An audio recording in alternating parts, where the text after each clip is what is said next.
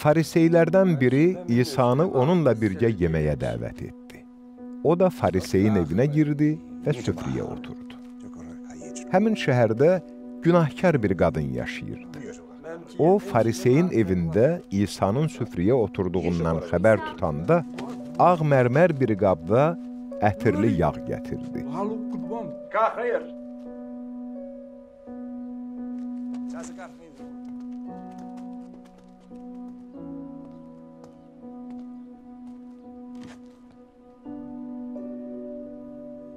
Qadın arxada İsa'nın ayaqlarının yanında durub ağlayaraq, göz yaşları ilə onun ayaqlarını islatmağa başladı.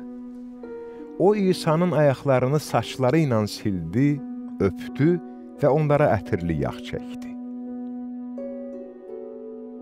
İsa'nı evinə dəvət etmiş farisey bunu görüb öz-özünə belə dedi.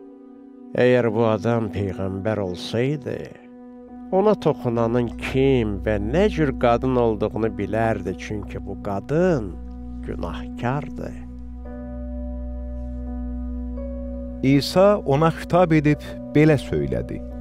Şimon, mənim sənə sözüm var. O da dedi, Müəllim, buyur. Bir sələmçiyə iki nəfərin borcu var idi. Biri 500, o birisi isə 50 dinar borclu idi. Onların borcu ödəməyə imkanları yox idi. Ona görə də sələmçi hər ikisinin borcunu bağışladı. De görün bu adamlardan hansı onu daha çox sevəcək? Şimon cavab verdi. Güman eləyirəm o adam ki, ona daha çox bağışlandı. İsa ona Düz seçmisən. dedi.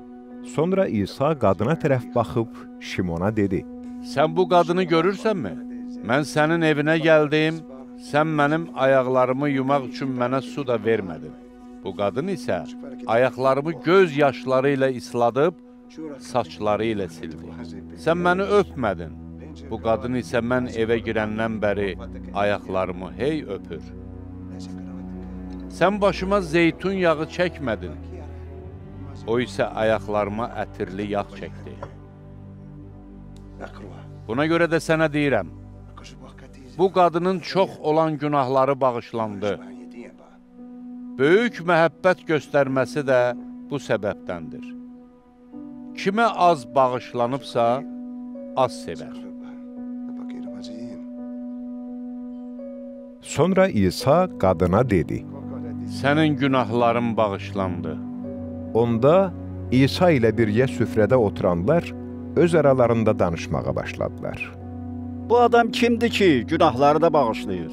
Amma İsa qadına dedi. İmanın səni xilas elədi. Arxayın get.